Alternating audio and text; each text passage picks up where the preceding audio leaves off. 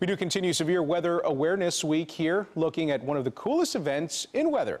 Here's Chief Forecaster Karen Carter with a look at how lightning happens and the dangers that it can cause.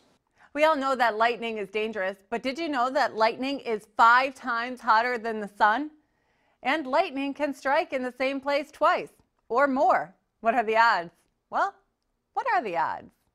The odds of getting struck by lightning in any single year are 1 in 700,000.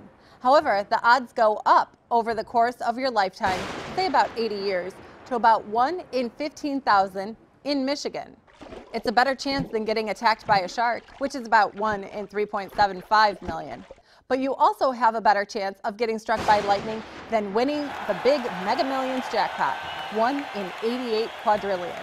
However, if luck is on your side, you'll be 1 in 11,500 people to bowl a perfect game find a four-leaf clover, 1 in 10,000, or catch a foul ball at a baseball game, 1 in 835. Still, you shouldn't test your luck against the odds. Michigan ranks 13th in the nation with the most deaths related to lightning.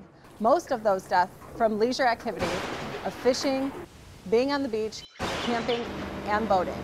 So the next time you see a storm moving in, Find a safe spot indoors because what are the odds that lightning will strike a little too close to comfort?